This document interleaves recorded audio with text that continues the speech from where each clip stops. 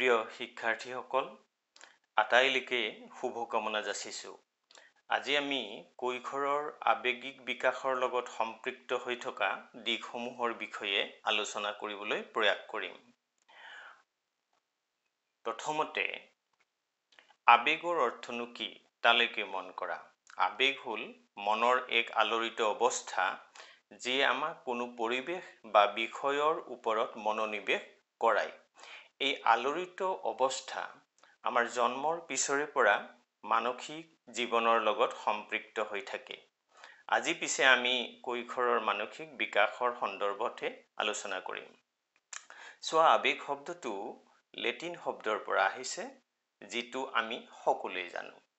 ইয়াৰ অৰ্থ হ'ল এটা মনৰ আলোড়িত অৱস্থা আৰু এই আৱেগ শব্দটোৰ লগত জড়িত হৈ থকা দিশসমূহ কি কি?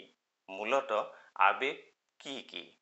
ভয় খং ভালপোৱা অকলশৰীয়া।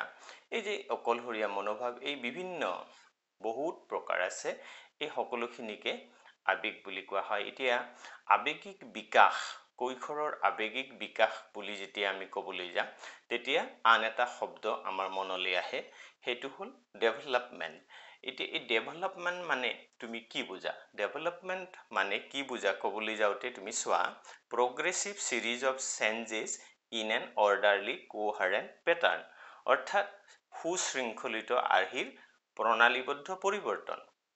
তাৰমানে আৱেগৰ সুশৃংখলিত আৰ্হিৰ প্ৰণালীবদ্ধ পৰিৱৰ্তন। এই পৰিৱৰ্তনসমূহ কি কি? সেই বিষয়ে আজি আমি আলোচনা কৰিম।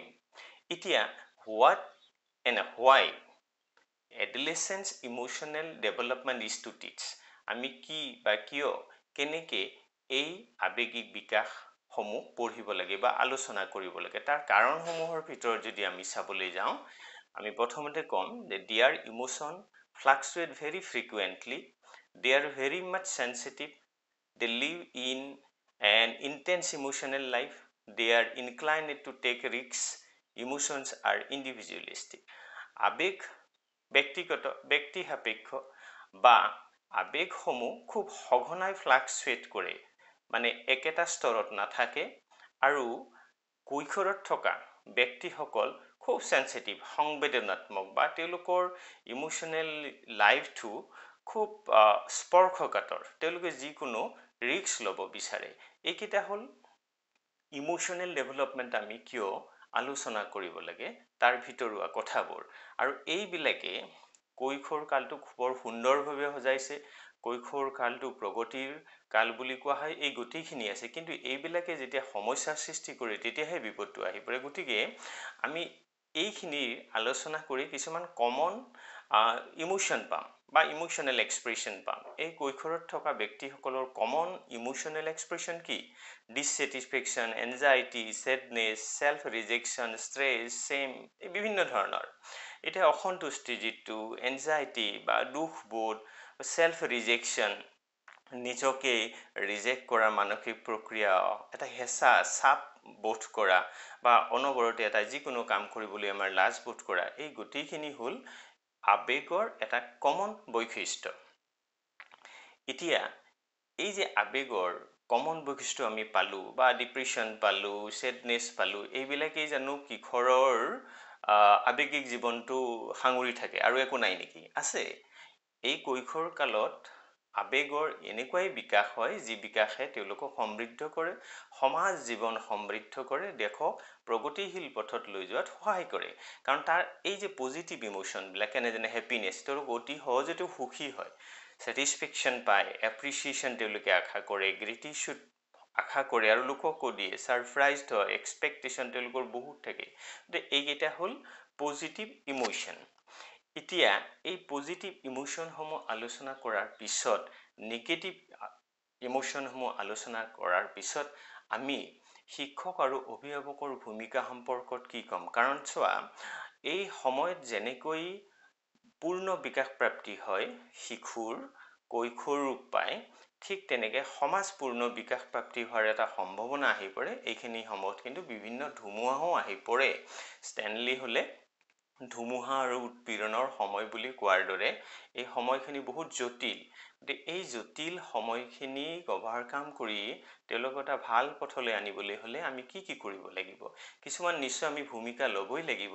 প্ৰথমতে চোৱা try to understand the adolescents needs প্ৰতিজন কৈশোৰৰ উপস্থিত হোৱা শিশুৰে ব্যক্তিৰে কিছুমান নিজস্ব প্ৰয়োজন দেখে। আৰু সেই প্ৰয়োজনসমূহ খুব সূক্ষ্মভাৱে পৰ্যবেক্ষণ কৰাটো বা বুজি পোৱাটো আমাৰ দৰকাৰ।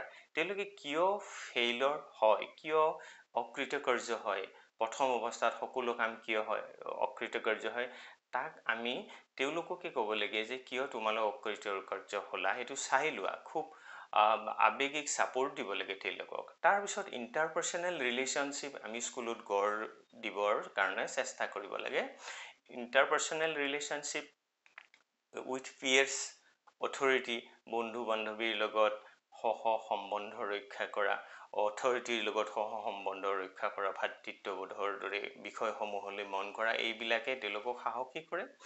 আৰু আমি কৰিব লাগে encourage to express their pent up emotion কিছুমান অৱদমিত হৈ থাকে আৱেগ। সেই আৱেগসমূহক আমি ওলাই অনাত সহায় কৰিব লাগে আৰু উৎসাহিত কৰিব লাগে। কাৰণ ৰৈ থকা আৱেগে পিছত মানসিক জটিলতাৰ বৃদ্ধি কৰে। Build self confidence and self esteem তেওঁলোকক আত্মবিশ্বাসী কৰি তুলিব লাগে আৰু নিজৰ প্ৰতি শ্ৰদ্ধাশীল কৰিব লাগে তেতিয়া বিভিন্ন নয়াৰ্থক দিশসমূহে তেখেত তেওঁলোকক ক্ৰিয়া নকৰে যেনে অকণমানতে ভাগি পৰা অকণমানতে হতাশ হোৱা এইবিলাক কামে তেওঁলোকক মানসিকভাৱে অত্যাচাৰ কৰে। আৰু অতি অত্যাচাৰ কৰিলে কি ফল হয় তোমালোকে নিজেই দেখিছা যে ছুইচাইডৰ দৰে ভয়ংকৰ ঘটনাবিলাকো এই জীৱনতেই আৰম্ভ হয়। গতিকে অভিভাৱকসকলে যাতে তেওঁলোকে মানসিক উৎপীড়ন পৰা ৰক্ষা কৰাৰ কাৰণে নিজকে সমৰ্থৱান হয় সেইকাৰণে ছেল্ফ কনফিডেঞ্চ বঢ়োৱাৰ কাৰণে আমি অহৰহ চেষ্টা কৰিব লাগে। শেষত আমি কি ক'ম?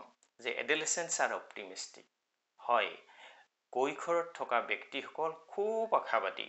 তেওঁলোকে যিয়েই নকৰক যিমানেই হতাশাত নুভুকক বা যিমানে ফেইলৰ নহওক তেওঁলোকে কিন্তু প্ৰতিটো পদক্ষেপতে আশাবাদী হৈ থাকে। এইটো হ'ল এটা কমন বৈশিষ্ট্য কৈশোৰ কালৰ।